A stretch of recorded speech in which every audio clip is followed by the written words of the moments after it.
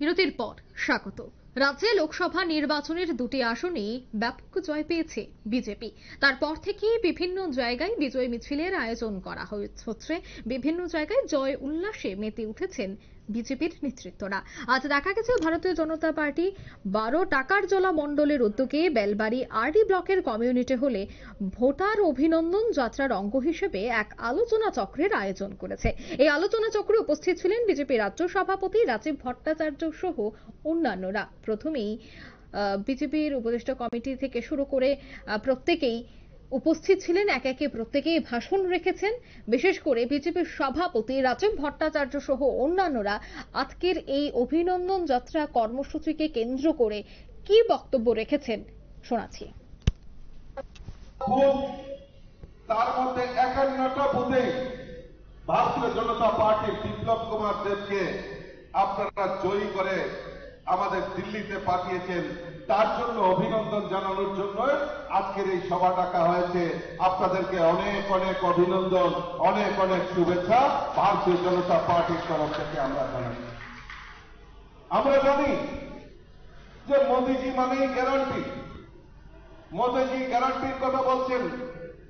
কার guarantee এই সমাজে যারা গরিব, এই সমাজে যারা জনজাতি রয়েছেন এই সমাজে যারা কৃষক রয়েছেন, এই সমাজে যারা মহিলা রয়েছেন, এই সমাজে যারা যুবক রয়েছেন, এই সমাজে যারা শ্রমিক রয়েছেন, প্রত্যেকের গ্যারান্টি আমাদের মোদীজি নিয়েছেন। আমরা কোনোদিনও ভাবতে পারিনি যে আমাদের রাজ্যে গরিবদের সংখ্যা অনেক বেশি। কারণ পঁচিশ বছর সিপিএম এই জায়গায় রাজত্ব করেছে। আর সিপিএম এর রাজত্বে সিপিএম খালি বলতো গরিবের সরকার গরিবের সরকার, কিন্তু গরিবদের জন্য কোনো পরিকল্পনা নেয়নি। বিজেপি সরকার দুই হাজার আঠারোতে আসার পর গরিবদের জন্য, জনজাতিদের জন্য, জনজাতি বিকাশের জন্য আমাদের সরকার বিভিন্ন পরিকল্পনা নিয়েছে।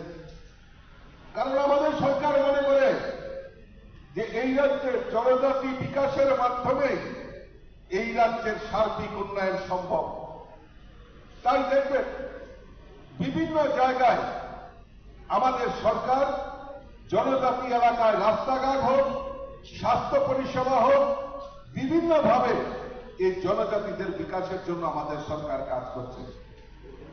আমাদের মোদীজি, আমাদের এই ত্রিপুরা রাজ্যের ধলাই জেলা, যেখানে জনজাতি অংশের মানুষ বেশি বসবাস করে, এই ধলাই জেলাকে ইন্সপিরেশন ডিস্ট্রিক্ট ঘোষণা করে এই ধলাই জেলাকে কীভাবে জনজাতিদের বিকাশ করা যায় তার প্রয়াস মোদীজি করছেন।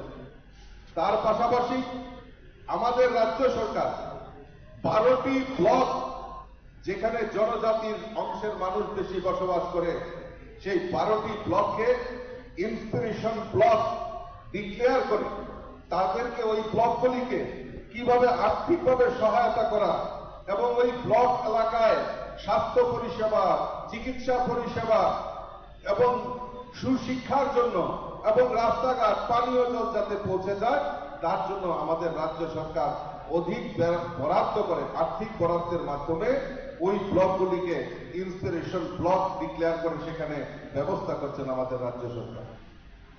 আমরা সৌভাগ্যবান। মোদীজি আসার পর আমাদের এই রাজ্যে প্রায় চার লক্ষের উপর গরিব মানুষ যাদের পাকা বাড়ি ছিল না, বিল্ডিং বাড়ি ছিল না। আপনারা শুনলেন প্রদেশ বিজেপির সভাপতির বক্তব্য। শাসক দলের উদ্যোগেই এই কর্মসূচির আয়োজন করা হয়েছে। অভিনন্দন যাত্রা কর্মসূচি উপলক্ষে দেখা গেছে। মথা থেকে শুরু করে আইপিএফটি এবং বিজেপির কর্মী সমর্থকরা এই অনুষ্ঠানে উপস্থিত ছিলেন। নিয়ে নিচ্ছে ছোট্ট একটি বিজ্ঞাপন। বিরতি, সঙ্গে থাকুন।